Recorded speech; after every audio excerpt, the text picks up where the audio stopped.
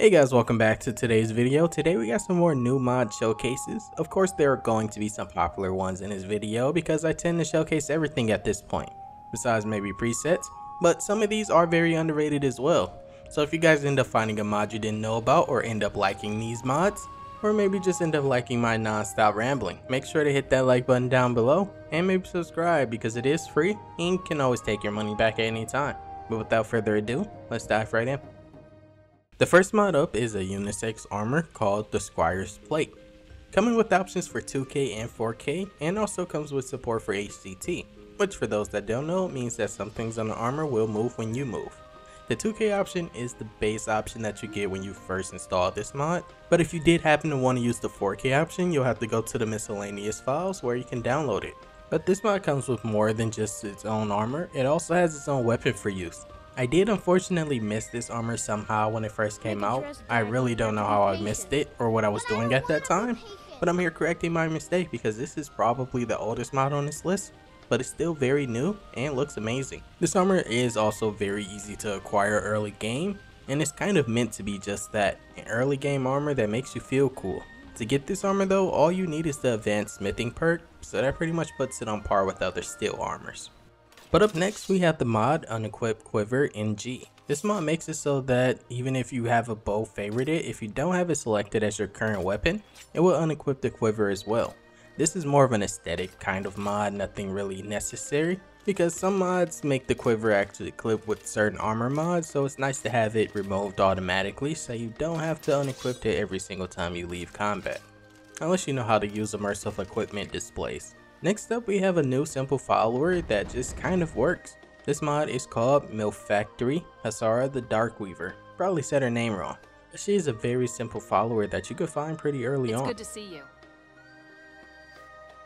I wouldn't mind getting out for a bit, so yeah, that works for me.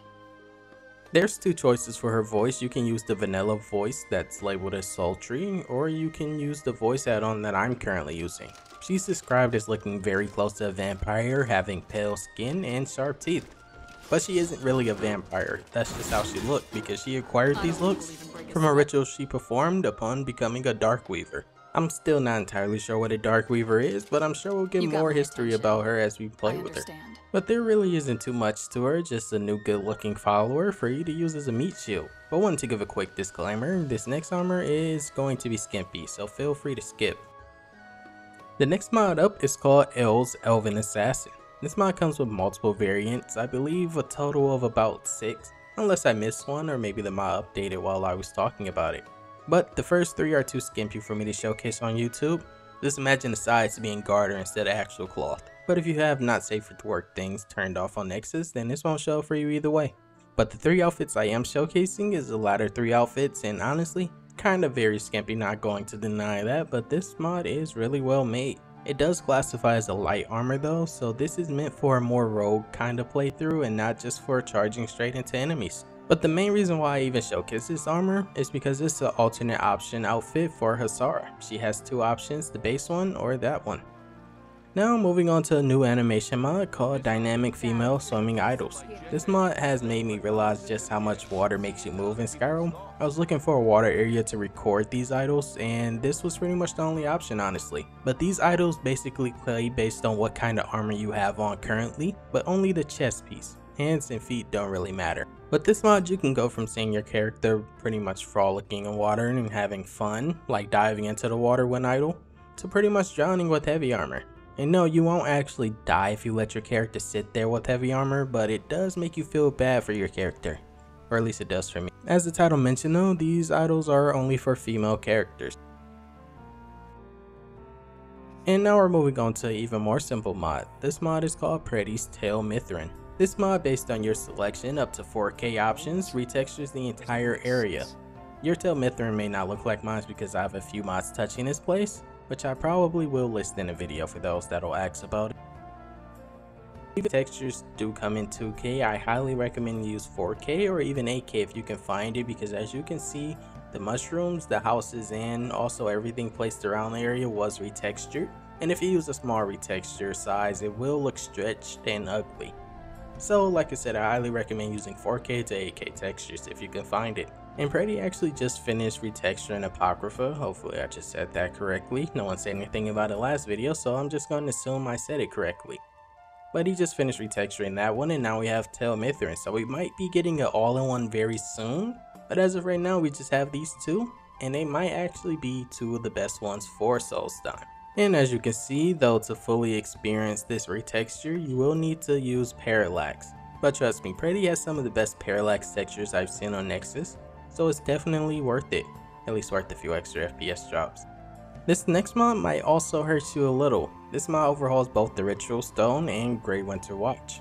This mod is called Watchman's Ritual Stone and Graywinter Watch. It's a pretty simple name, right? But this overhaul is anything from simple. This mod completely changes up the area of the Ritual Stone, truly transforming it from just a cliff with the stone on it that I rarely ever go to if ever, besides to just kill things for experience, to actually making it seem at least a little important to the lore of Elder Scrolls. I really didn't have to even do it before and after here, I just really wanted to show the scale of this overhaul and how much better it makes this location.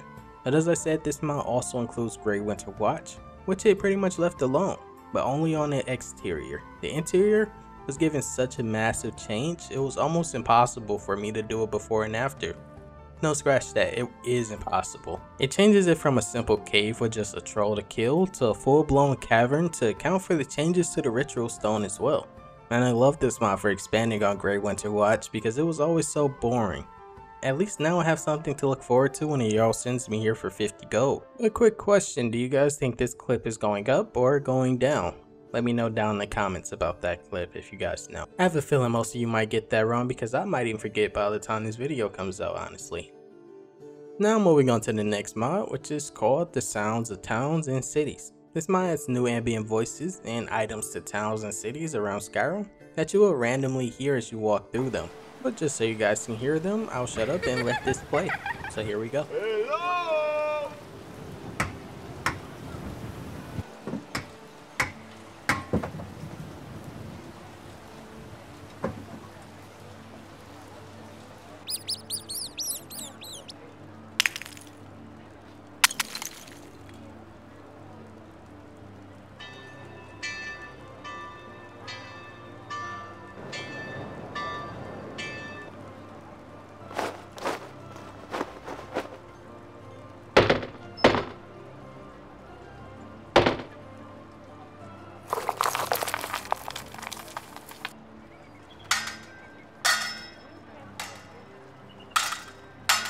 Now we all know about the mod animated ships, but a quick explanation for the mod. This mod adds ships to the waters of Skyrim docks and actually out in the ocean that will move around. They have their own lot as well, but you can find a way to interact with the NPCs if you somehow get on the ships.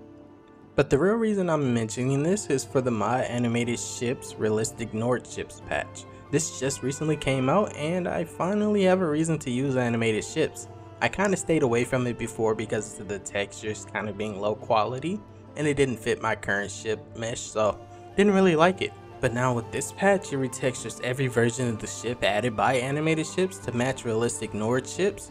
So not only will the sails be extremely high quality now with new icons for Imperials and Stormcloaks or whatever effects you run into, now the ship itself also will have much better meshes and textures when you get close to them. This is exactly what I've been waiting for and now I literally have no reason to not use animated ships because it's pretty much patched for every known conflict mod unless it just came out where only has a few hundred downloads but at least the ships look amazing now. But moving on, there's a new farm clothing mod called Ark Female Nordic Clothing. These new clothes are, as the title says, female only, and they aren't distributed to the level list you have to use the add item menu, and I believe that's because the mod author stated that these were meant to be kind of a modder's resources for others to use. And I kinda can't wait to see someone distribute these to tavern so that they can finally have diverse outfits that don't require their boobs to be out 24 7.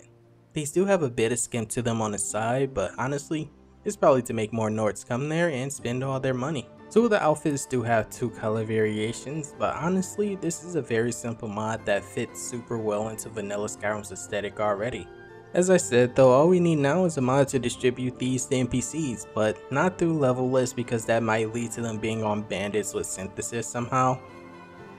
Up next for the final mod, we have a mod called Chitin Armor Replacer. This mod uses assets from Armors of Velothi, but they aren't required, this is a standalone, but it replaces all light armor Chitin armor variants with this one. This one also comes with support for HDT, so the cloth towards the leg part will move. The heavy chitin that the guards in Raven Rock wear or just NPCs around Solstheim, they will still have the vanilla look, but maybe that will be replaced next with the next mod from this mod author. Also had to look up how to say chitin. Some people say chitin, but chitin is what I'm used to, so let me know how you guys say it down in the comments. But on your way scrolling down there, make sure to hit that like button, and I hope you have a great rest of your day. Peace and love guys.